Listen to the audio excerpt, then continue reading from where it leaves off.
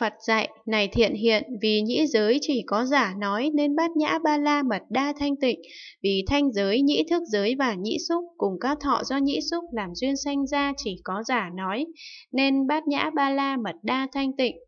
Bạch Thế Tôn, tại sao vì nhĩ giới chỉ có giả nói nên bát nhã ba la mật đa thanh tịnh, vì thanh giới cho đến các thọ do nhĩ xúc làm duyên sanh ra chỉ có giả nói nên bát nhã ba la mật đa thanh tịnh.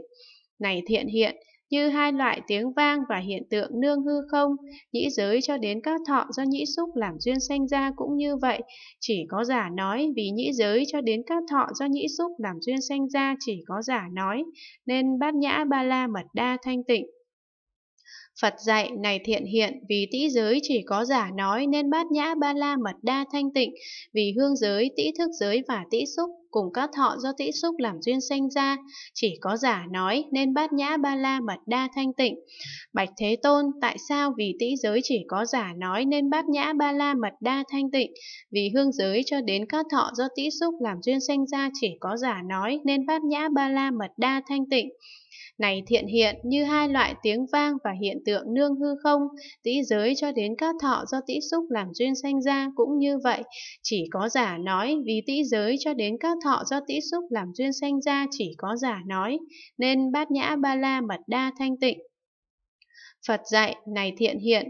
vì thiệt giới chỉ có giả nói nên bát nhã ba la mật đa thanh tịnh, vì vị giới, thiệt thức giới và thiệt xúc, cùng các thọ do thiệt xúc làm duyên sanh ra chỉ có giả nói nên bát nhã ba la mật đa thanh tịnh.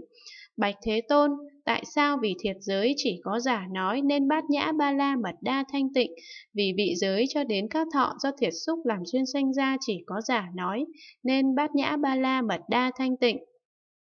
này thiện hiện như hai loại tiếng vang và hiện tượng nương hư không,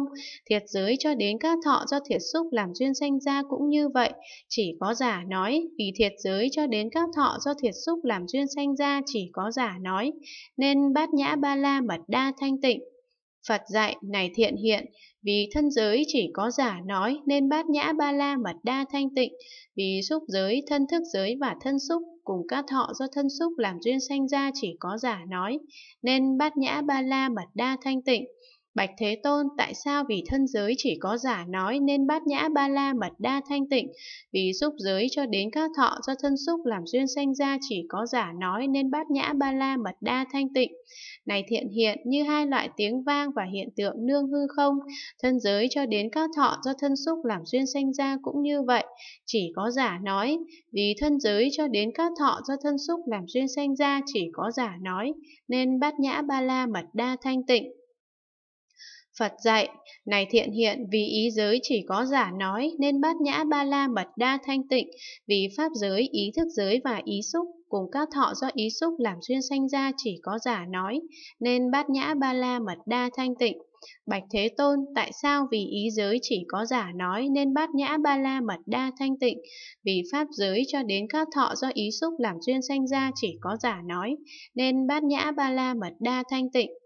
này thiện hiện như hai loại tiếng vang và hiện tượng nương hư không, ý giới cho đến các thọ do ý xúc làm duyên sanh ra cũng như vậy, chỉ có giả nói, vì ý giới cho đến các thọ do ý xúc làm duyên sanh ra chỉ có giả nói, nên bát nhã ba la mật đa thanh tịnh.